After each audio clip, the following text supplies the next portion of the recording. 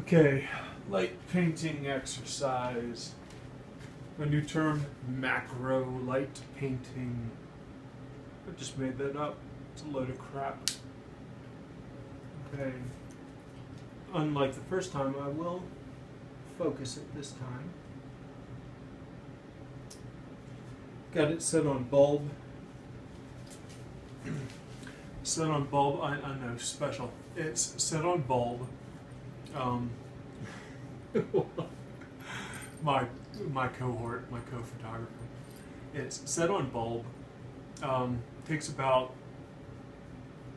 a minute and a half, maybe a little more, uh, to do this. Um, I'm getting ready to, to take a class from a guy who kind of pioneered this sort of technique, and I wanted to be a little bit familiar with it before I took the class.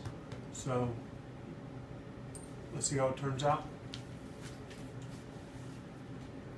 Little flashlight I'm using an LED, very bright.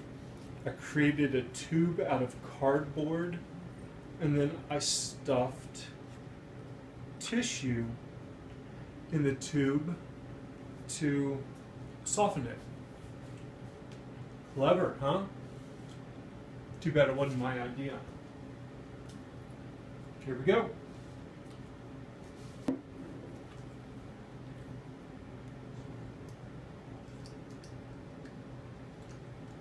The hardest part of this is not getting shadows. That's the whole point, and that's the hardest part.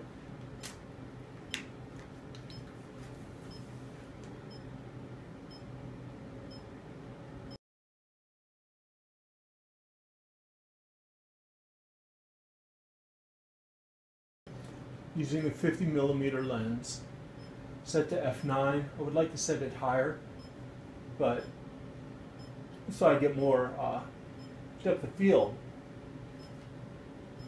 But this is the first time I've done this. Well, the tenth time I've done it tonight. The first time I've attempted this technique. And I'm kind of rushing through it and making some pretty good mistakes. Like bumping the tripod.